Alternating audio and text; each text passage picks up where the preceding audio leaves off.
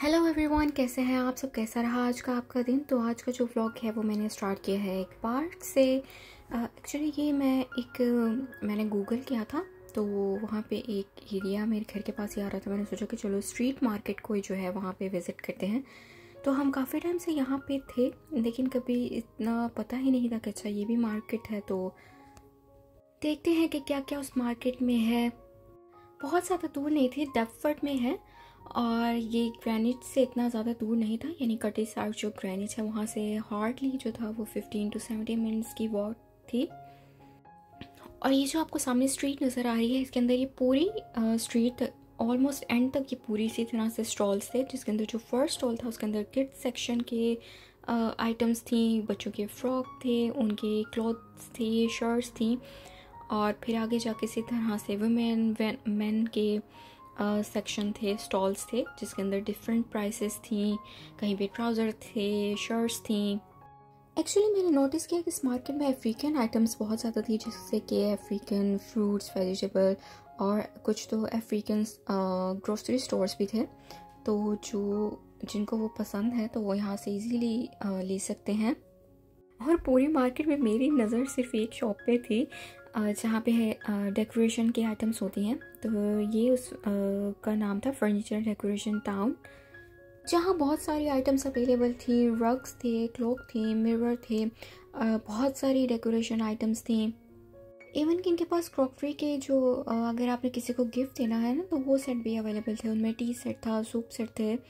और मुझे तो है ये शॉप बहुत ही अच्छी लगी थी। ये देखें, ये सारी जितनी भी आपको मैं दिखा रही हूँ, ये डेकोरेशन आइटम्स थी और फुल शॉप थी ये।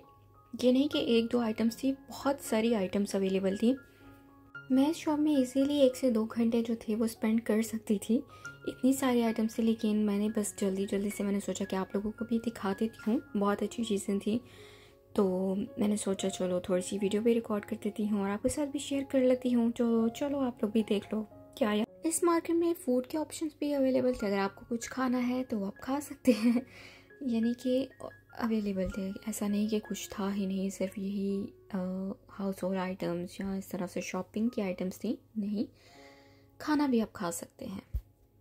खैर, इतने सारे शॉप की तारीफ़ करके मैंने यहाँ से लिया कुछ भी नहीं था।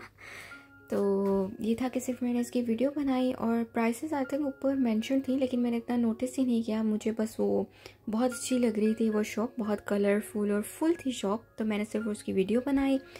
और मैं फिर बाहर जो थी, मैंने बाकी की स्ट्रीट देखी कि अच्छा चलो बाकी भी चेक कर लेते हैं। इस मार्केट से मैंने सिर्फ़ स्पाइस जार लिए थे, जो मुझे बहुत अच्छी प्राइस में मिल गए थे। क्योंकि मुझे जो थी अपनी स्पाइसेस को ऑर्गेनाइज करना था। तो वो मुझे अच्छे प्राइस में नज़र आया तो मैंने सोचा कि चलो मैं उसको उठा लेती हूँ। अभी सिर्फ़ मैंने वो सिक्स जार्स लिए हैं और वो पैक ही पड़े हैं। मैंने सोचा कि पहले मैं जाऊँगी, पहले इसकी ग्लास की क्वालिटी चेक करूँगी तो फिर मैं इसको और लूँगी, क्योंकि समटाइम्स ये होता है कि ग्लास जो होता है ना, वो बहुत ही थिन होता है। तो उसके जो होते हैं ब्रेक होने के चांसेस ज़्यादा होते हैं तो मैंने सोचा कि पहले मैं इसको चेक कर लूँगी, फिर यहाँ से आके एक और पैकेट ले जाऊँगी। डेफिनेटली मैं आप लोगों के साथ ज़रूर शेयर करूँगी उसको, क्योंकि वो बिल्कुल क्लियर ग्लास के जार्स हैं, ऊपर गोल्ड कलर के जो हैं, वो लिट हैं उसके। तो उसको ये है कि जब आप उसके ऊपर लेबल्स लगाएँगे तो मुझे लगता है कि बहुत अच्छे लगेंगे। क्योंकि ये होता है ना कि आपने एक माइंड में सबसे पहले एक थीम सोची होती है तो मैंने गोल्ड इस तरह से कोई थीम सोची हुई है। क्योंकि जब होता है कि आप कोई भी घर के आइटम्स हैं ना, इस तरह से उसको रीडिज़ाइन कर रहे होते हैं तो आपको एक थीम माइंड में सेट करना होता है तो मुझे अभी थीम ही नहीं मेरे माइंड में सेट हो रहा कि मैं उसको क्रोम में जाऊँ गोल्ड टच में जाऊँ, या फिर आजकल आप लोगों ने देखा होगा कि वुडन आइटम्स भी काफ़ी इन है तो मैं उसमें जाऊँ। वैसे आप लोग भी मुझे सजेशंस दे सकते हैं। तो ये था मेरा आज का छोटा सा व्लॉग होप सो आप लोगों को अच्छा लगा होगा। अगर आपको अच्छा लगा है तो चैनल को लाइक सब्सक्राइब और शेयर करना नहीं भूलिएगा। और अगर आपको नहीं अच्छा लगा तो भी लाइक सब्सक्राइब और शेयर करना। नहीं भूलिएगा, ठीक है? मिलते हैं नेक्स्ट ब्लॉग में, तब तक के लिए टेक केयर